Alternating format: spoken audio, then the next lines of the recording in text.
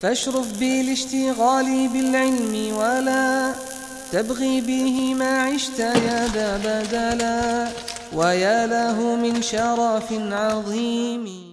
الحمد لله رب العالمين له الحمد الحسن والثناء الجميل وأشهد أن لا إله إلا الله وحده لا شريك له يقول الحق وهو يهدي السبيل. وأشهد أن سيدنا ونبينا محمد صلى الله عليه وعلى آله وأصحابه والتابعين لهم باحسان إلى يوم الدين اما بعد inshallah ta'ala today is going to be third part in which we will be speaking about fitr masailu wa ahkamun so we have inshallah ta'ala today and tomorrow to finish it because inshallah ta'ala Eid is going to be on on Wednesday inshallah ta'ala the 30th uh, the 6th uh, on the 30th of Ramadan and the 6th of this month, uh, July. We touched on an introduction and we spoke about the first issue, the first mas'ala, and the second. We're now going to be speaking about the third mas'ala, the third matter, the third topic, or the third issue. Al mas'ala thalitha, the third mas'ala, or the third issue. When in this, the third one, we're going to be tackling three things, inshallah ta'ala.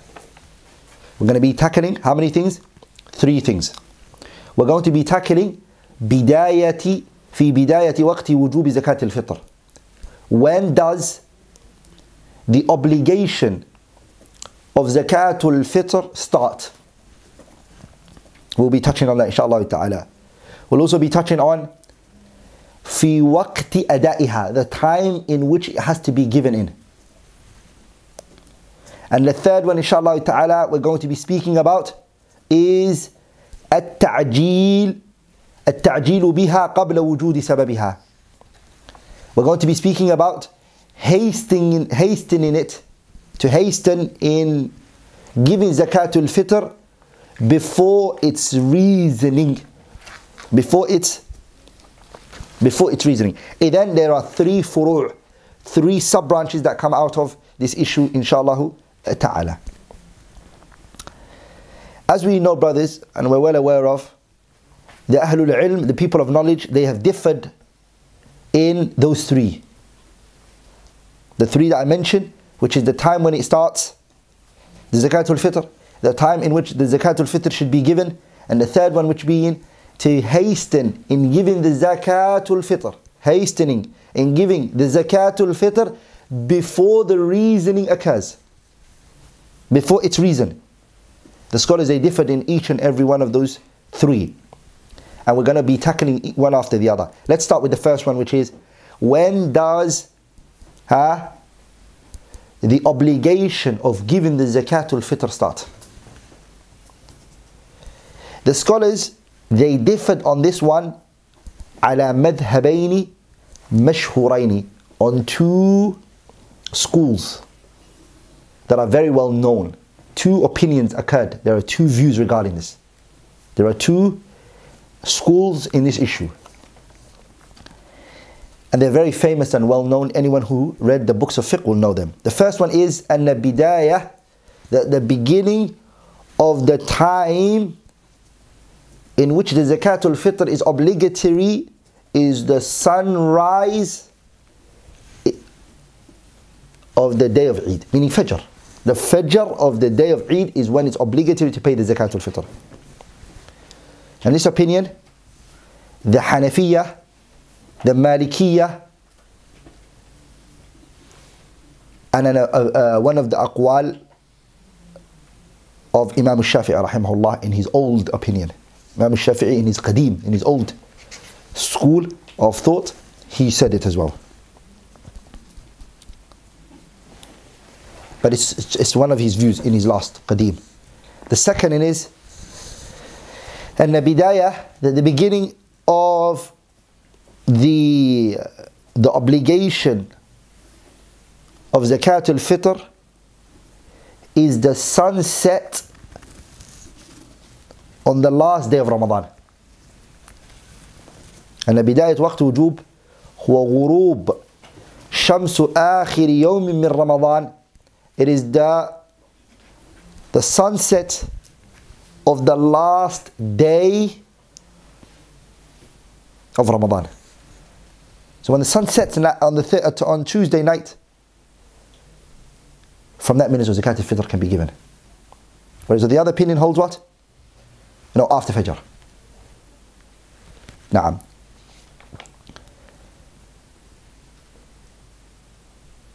And this qawl, which is the second view, the Jumhur said it.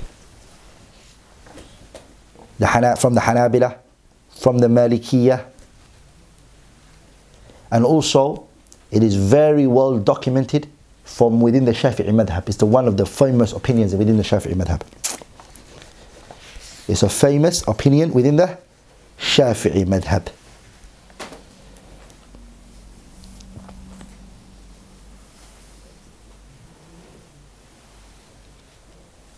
The reason this khilaf occurs, the reason, the sabab of this khilaf goes back to is the obligation because we they all both agree on what? That the zakat is what? Zakatul fitr is obligatory when?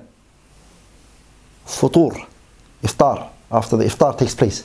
They all agree upon that صح because this one's iftar and the other one is muftir they both agree the khilaf within them two is is the iftar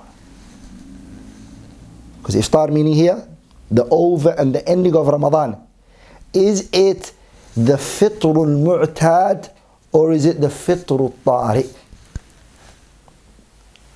ما معنى فطر المعتاد and what is the فطر الطارئ Fitrul mu'tad is the fitr that was known. You, brothers? The, what does it mean, the one that was known? It means the one that everybody was breaking their fasts on. Are you with me?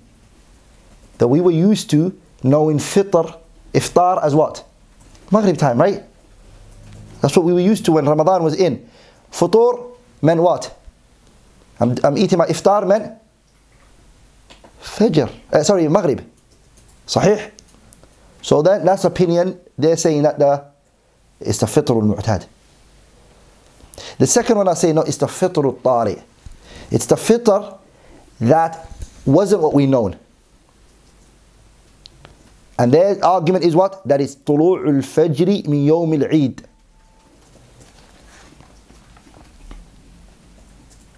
in simple terms brothers that might have confused those who are watching and it might have confused some of you here. Huh? It might have. In simple terms. In simple terms is the zakatul fitr connected to Eid the day of Eid or is it connected to the leaving of the month of Ramadan? In simple terms is the zakatul fitr هل zakatul fitri عبادة متعلقة متعلقة بيوم العيد أم بخروج شهر رمضان Is it connected to is it, is it a ibadah that is connected to the day of Eid or is it connected to the leaving of Ramadan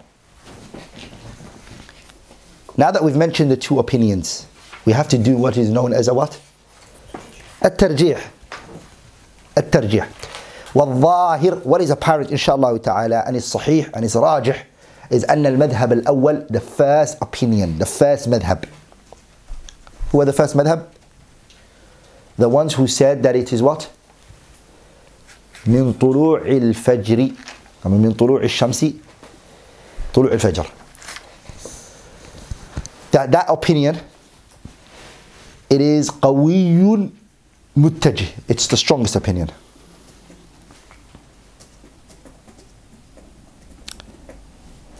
And the reason for us strengthening that opinion is because Ibn Hajar rahimahullah he said when he was pushing that opinion, he was pushing the opinion that we're saying right now is the strongest. When Ibn Hajar was pushing that opinion, he says, وَيُقَوِّيهِ قَوْلُهُ The statement of the Prophet ﷺ strengthens this opinion. And then he, he's referring to the watch, which He's referring to the hadith Abdullah ibn Umar radiyallahu ta'ala anhuma. The hadith Abdullah ibn Umar may Allah be pleased with him and his father, in which the Prophet sallallahu alaihi wasallam he said, the hadith Abdullah ibn Umar, radiallahu Muslim narrated it. Um, um, the hadith of Abdullah, Abdullah ibn Umarin.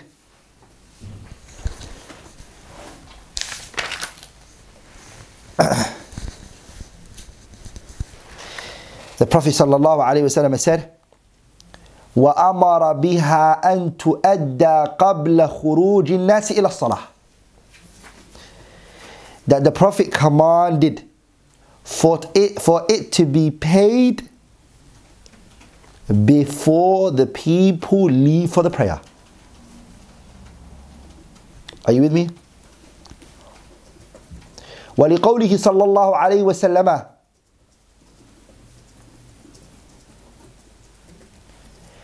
And the statement of the Prophet sallallahu alaihi wasallam, and the, the, the statement of who? The Messenger sallallahu alaihi wasallam, which he said, فطركم يوم تفطرون Your fitra is the day in which you do your fitr. So where is Ibn Hajar trying to get the dalil from this hadith to strengthen this first opinion? Is what he's going to say after that, which is فَأَضَافَ الْفِطْرَ عَلَى الْإِطْلَاقِ إِلَى الْيَوْمِ That the fitr was attributed to what? It was attributed to the day with unrestriction. So that opinion has to be strong. That the fitr here is after Fajr because Fajr after Fajr is a day. Um, after Maghrib is going to be night. Isn't that the case? So in another, uh, in simple terms, is meaning A, al-fitr bin nahari tuftiruna. Very good. Now you might think to yourselves, okay, what's the benefit of this khilaf and what does it benefit us? What's the thamara? What is the fa'idatul khilaf? What is the, what will this khilaf benefit us? Fa'idatul khilaf is the benefit of this dispute really comes into place in which you see, Lena brothers, you have to realize one thing as a side point benefit. A lot of the times, people they learn khilafat and the dispute, disputes that occur amongst the ulama and the fuqaha. But reality of the matter is that that khilaf sometimes khilaful la. There's no benefit in it. You're wasting your time and your energy. Are you with me? Like for instance, Ibn Kathir rahimahullah in his muqaddimah, in his usul, in his muqaddimah, in the tafsir of his tafsir book, he mentions that some of the khilafat that some scholars bring regarding the Quran, which is what was the dog of the people of Ashab al-Kahf. What was it a bulldog? Yeah. Was it American? What was it? Was it a Chihuahua? What was it? What kind of animal? What kind of dog was it? it the khilaf regarding this is is it, is it any benefit for the people? In the khilafun, there's a khilaf we don't need to know. So the khilaf that benefits us is the khilaf that has a reality and an issue on the ground. That when it, okay, what, what thamara has come out from this? Or else you're wasting our time. ولذلك وفائدة الخلاف the dispute in this issue is very important which is and it becomes apparent في من مات anyone who dies أو ولد or it was given birth for him أو أسلم or he takes Islam بعد غروب آخر يوم من رمضان the night the last night of Ramadan meaning when the sun set on Tuesday night when the sun sets if somebody dies, or a child is born, or somebody takes Islam after sunset on Tuesday, because Ramadan, inshallah ta'ala, for us is going to be on Wednesday, the 6th, right? So on Tuesday night, hmm, when the sun set and we do iftar, yeah? Eid on Wednesday. Eid on Wednesday, right? Tomorrow's Wednesday. No, tomorrow's Tuesday. Oh, yeah, tomorrow's Tuesday, right? Uh, tomorrow's Tuesday. So this the 6th Tuesday when the sun sets. When the sun sets, if somebody dies or a child is born or a person takes Islam, now it becomes apparent the khilaf. فعلى مذهب الحنفية according to the madhab of the Hanif Hanafis and the Malikiyya and a riwayah of Imam Shafi'i is قديم which we mentioned أن من مات بعد غروب الشمس anyone who dies after the sunset on the last day of Ramadan لا تجب عليه زكاة zakat is not zakat is not obligatory on him uh, not, it's not his قول القديم this is his قول uh, it's not his قول القديم شافعي why for this opinion why would the Hanafis and the Malikiyya and the Shafi'iyya the riwayah of him أن من مات anyone who dies بعد غروب الشمس after the sun sets لا تجب عليه زكاة that the zakat is not obligatory on him because the time when it was obligatory for them is not present لم يكن موجودا it's not present so according to Imam uh, uh, مذهب الحنفية and the Malikiyya and, uh, which is a قول له ورواية عن الشافعي في القديم and also the riwayah of Imam الشافعي is old نعم that's correct it's, it's in his old opinion أن من مات بعد غروب الشمس anybody who dies after the sunset لا تجب عليه زكاة zakat is not obligatory on him the day before Ramadan uh, the, sorry the day before Eid which is the night the last night of Ramadan that sunset anyone who is born لا تجب عليه زكاة because they believe لأنه وقت وجوبها the time when it was obligatory لم يكن موجودا it wasn't present as for أم أما من ولد as for anyone who is born بعد غروب الشمس أو أسلم أو بنى على زوجته أو أيسر مالا أو ملك عبدا فتجب عليه زكاة لأنه كان من أهلها وقت وجوبها As for anyone who is born As for anyone who is born after the sunset anyone who's born after the sunset or he takes Islam or he marries a woman or he is able financially he gets he becomes able to, to do it or he takes a slave فتجب عليه الزكاة the zakat is obligatory on him لأنه كان من أهلها he was from its people وقت وجوبها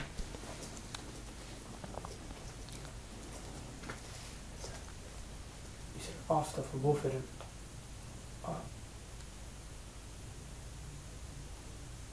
after sunset for both of them. Yeah, the other one is when sunrise, sorry. أما من ولد بعد طلوع الشمس sorry. نعم فجر.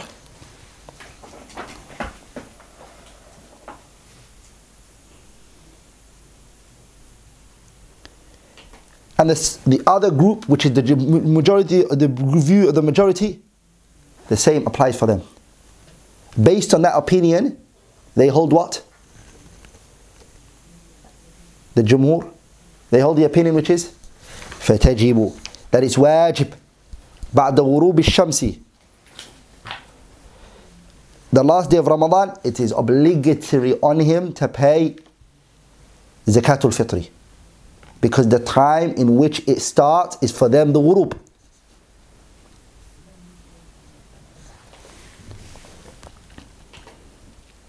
That's one thing that we spoke, we tackled here there's one issue here that we tackled. And that issue that we tackled here is when does zakatul fitri is obligation start? We're now going to talk about the second one, which is what is the duration and the time, which is al far'u thani, the second the second sub branch, which is waqt wujub ada'i zakatul fitri, the time when it is the it's obligatory to pay the zakat.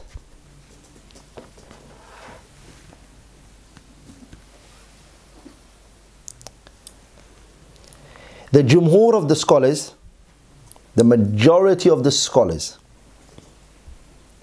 from the Malikiyah, from the Shafi'iyah, from the Hanabila, and some of the Hanafis, they believe the time when it's obligatory to, to, to do it huh, for them is Zakat al-Fitri is specific to the day of Eid.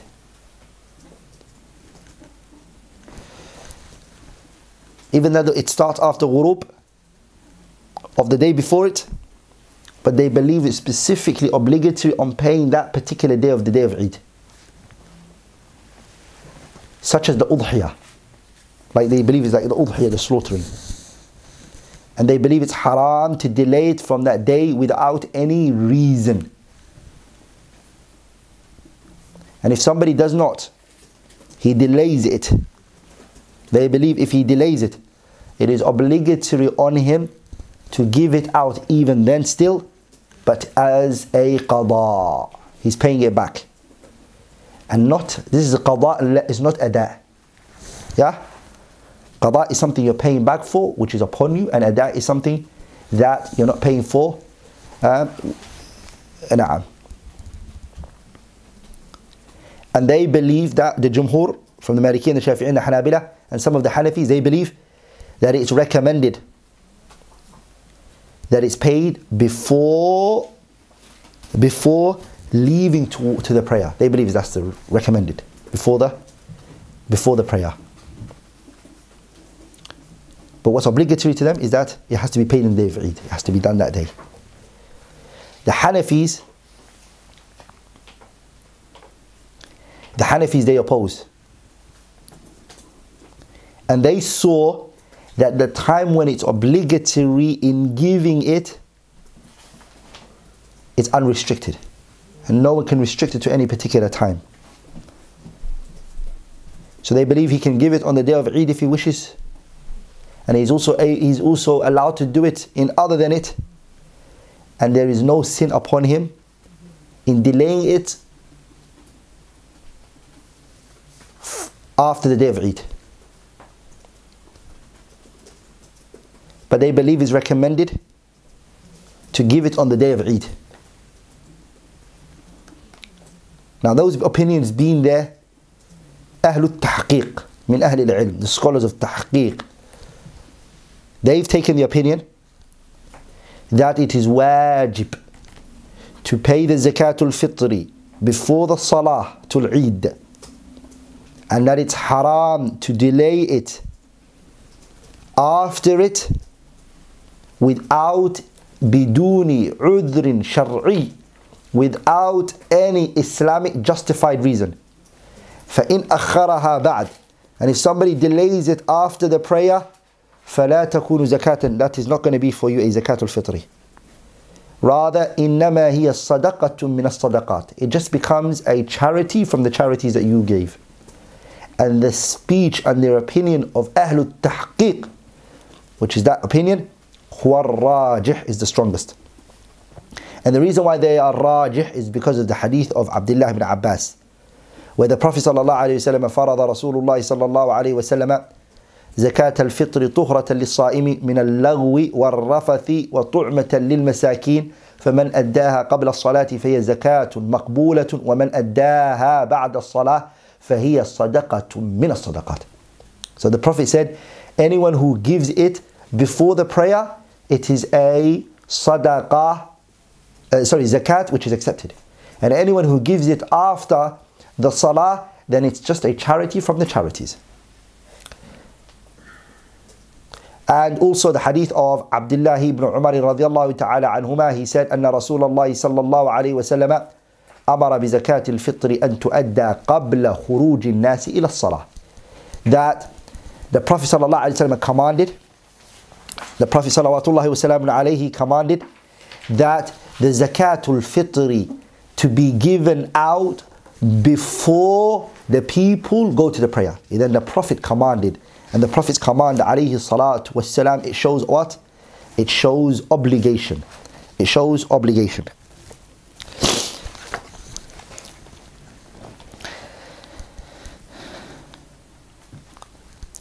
Ibn al-Qayyim rahimahullah in his noble book, in his great book, زاد المعاد في هدي خير العباد Ibn al-Qayyim in his kitab زاد he mentions هدي النبي صلى الله عليه وسلم في إخراج هذه الصدقة he mentions there's a chapter where he talks about the prophet's guidance and his prophetic manner huh?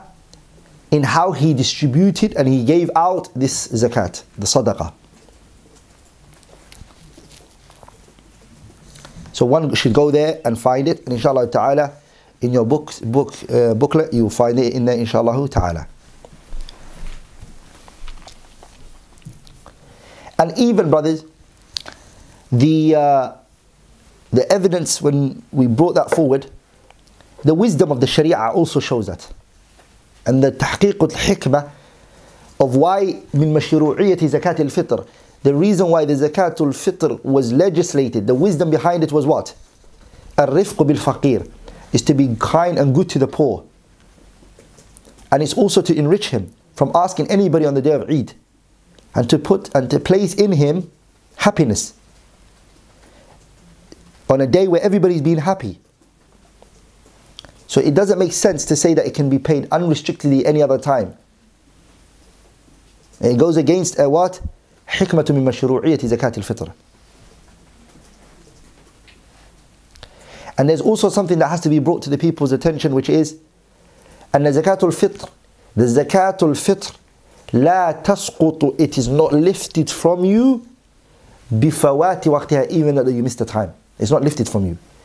على الصحيح, according to the strongest view of the scholars. The reason why is because it is حق العبد, it is the right of the slave تعلق بذمة من وجبت عليه لمستحقه لمستحقه فهي دين لهم ولا يسقط إلا بالوفاء به because this is a right of a person on you and that right will not be uplifted from you unless you fulfill it the fuqara and the masakin have that right on you the fuqara sorry the masakin the masakin the masakin they have that right on you for you to give it to them are you with me? So you have to give it to them. So it's a debt.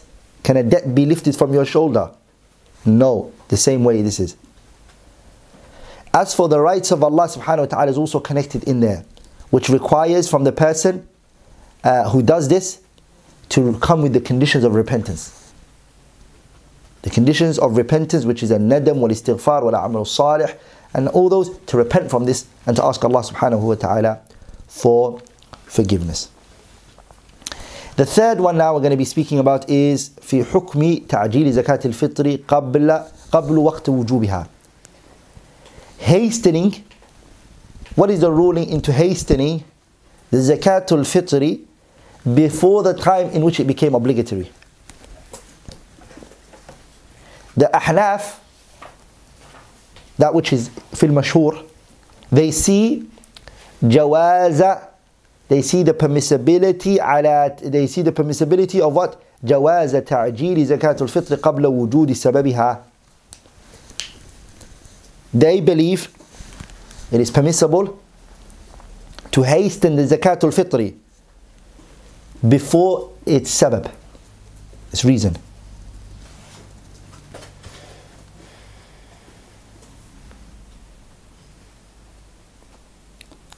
and and the reason here is what? وهو الفطر. It is to the fitr. من Ramadan. And the, the reason why they say that is because they say this is like zakatul mal. Remember we took the, the, the opinion that we brought last time? They consider it to be zakatul mal. And they said that the zakatul mal, the hadith of uh, Abdullah, Ali ibn Abi Talib radiallahu ta'ala anhu, are you with me? In which Abi Dawood narrated that أن العباس asked the Prophet صلى الله عليه وسلم can one أن العباس سأل النبي النبي صلى الله عليه وسلم في تعجيل صدقتي قبل أن تحل that Abbas asked the Prophet صلى الله عليه وسلم can I hasten to pay my zakat or my you know before it's obligatory on me فرخص له في ذلك the Prophet permitted it for him and then zakatul mal a person his money hasn't reached the hawl uh, the hawl hasn't come and the nisab it hasn't reached the nisab but they know he's going to reach there so they say you know what I'm going to pay in advance so some of the riwayat they differ the one riwayah says فرخص له في ذلك the Prophet made it permissible another he said فأذن له في ذلك the Prophet permitted it for him and Abbas ibn Abdul Muttalib he did this two years before its time أن النبي صلى الله عليه وسلم تعجل من العباس صدقة السنتين two years in advance the Prophet accepted it from him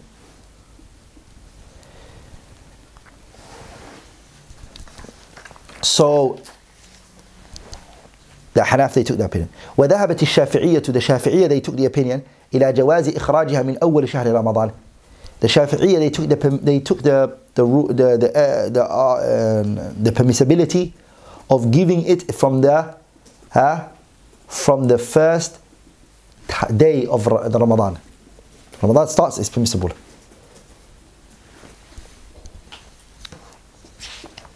Imam al-Nawawi rahimahullah ta'ala, and Imam al-Nawawi, who's been A'immat al-Shafi'iyya, rahimahullah, he he uh, he معلنا على هذا الرأي he critiqued that that uh, that view and then Imam al-Nawawi rahimahullah in his kitab al-Majmu' he became a muhaqqiq rahimahullah sometimes يعلق ويعلل he would weaken and, and question and, and uh, go against the, the evidence within the madhab rahimahullah Imam Nawawi rahimahullah and he said لأنها تجب بسببين.